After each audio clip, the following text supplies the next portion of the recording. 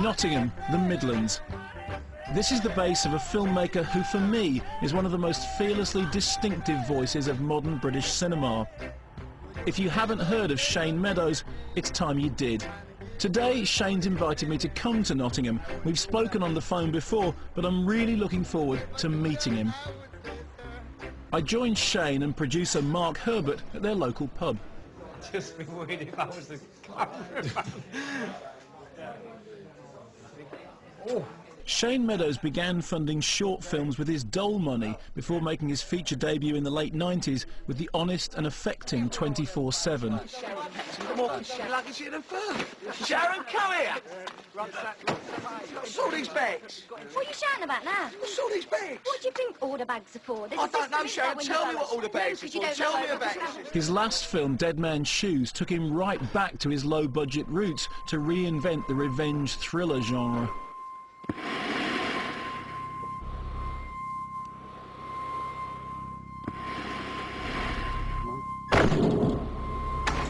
Now he's back with his fifth feature at the tender age of 34.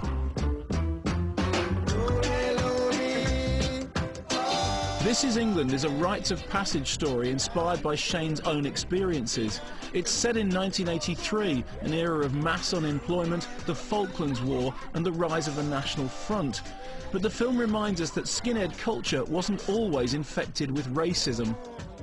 People forget that there is a whole wave of skinhead culture that has nothing to do with the right-wing element, that actually came out of multiculturalism, and your film addresses that. Yeah, and people seem to have forgotten or maybe don't even know that the, the whole nature of what skinhead was born out of. Um, the white skinhead movement was born out of white kids working with black kids in shipyards and you know around the docks or in factories and starting to sort of coexist and go out together and go into each other's uh, you know parties and do's and, and these white guys basically working class will go into blues parties and, and starting to listen to Trojan reggae that was coming over from Jamaica. Um, and, uh, and the whole thing was born out of a love of black music. The, the skinhead movement was the ultimate kind of like, well, you know, we're actually proud to be working class, and anyone who's middle class can't wear these boots and can't wear these jeans and this work shirt and a pair of braces sure. and look like this. In the film, the young boy Sean gains acceptance from a crowd of skinheads having been bullied by other kids. So what's this? Who's picking on you, lad? Some lad at school. What's his name? Harvey. Harvey? so the bloody girl's name is Harvey. Hello, I'm, I'm Harvey. I've come to give you jip. Shane vividly recalls the moment he became part of a gang. Someone gave me a Ben Sherman that was too big and a Crombie that was too small, because the names were right, you know, and I had a pair of jeans that I rolled up that were too long anyway, but so I had like real big donuts for Rami Docks. but because they were the right pieces, yeah. I was just accepted, you know. Amazing. Oh, oh yeah. What a transformation. And all of a sudden you're part of this gang, and it's not like they're going out looking for fights, but because people know you're part of that, they'd leave you alone, and you looked scary, and there was, you know, as a young boy who's being preyed on, like Sean is in the film, um, there was an appeal to that, and what this film tries to do is say, yeah, there might be an appeal to that, but if you keep running with people of that age, and you keep dancing around the fire, at some point you'll get burned. The lead actor, Thomas Turgoose, had never acted before, and was found by a casting scout in Grimsby. Sean, come here. What? Come and sit down. I want to have a word with you. Why? And you have in the film the most fantastic kid. How did you find him? We'd seen quite a lot of kids, and they were just. I think Shane always sort of knew that it was going to be something special to really carry this. Kids in just about every single scene, and and there was this. Um, we saw a few kids, and then Tomo came in, did an improvisation with with Joe Hartley, who plays mm. synth, and it was just amazing. And Shane, you know, I think Shane, I, I could just tell from looking at Shane that that was it. It was a boy at school. He made a joke about Dad, so I hit him. Well, what did he say about Dad? I don't want to say it, Mum. It's disgusting. Sean, I want to know what he said about your dad. I've been picked on three times today. Oh, because of my trousers. Lots of things that happen in the film yeah. actually were part of my life. In the film, as in Shane's real life, the gang is infiltrated by a more racist element and a new leader emerges. So we can stick our flag in the ground and say, yeah, this is England, and this is England, and this is England. I went along to a, a National Front meeting when I was 11 years old in someone's house, and it wasn't just a group of skinheads.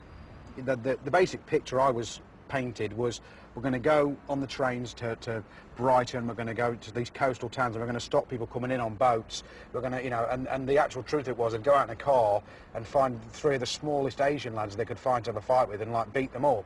And so it was like, well actually, you know, you're just bullies they hated the fact that their food smelled different, you know, that, that, that, they had their own religion and that they and that they actually hated the fact that they were actually really united, I think. They had a culture. Completely. Because the whole, I mean, it seems to me that the part of that, and I think this is reflected in the film, is it's people desperately looking for a culture which is theirs. And one of the things that causes the resentment of what they see as the immigrant is that, that they have a culture, they have a music tradition, they have a heritage, they have pride in their own Yeah. in their own history. And it's in that absence of pride that that sort of, you know, the right wing thing flourishes. Yeah, completely. This is England has a strong educational message aimed at teenagers, but it's been given an 18 rating.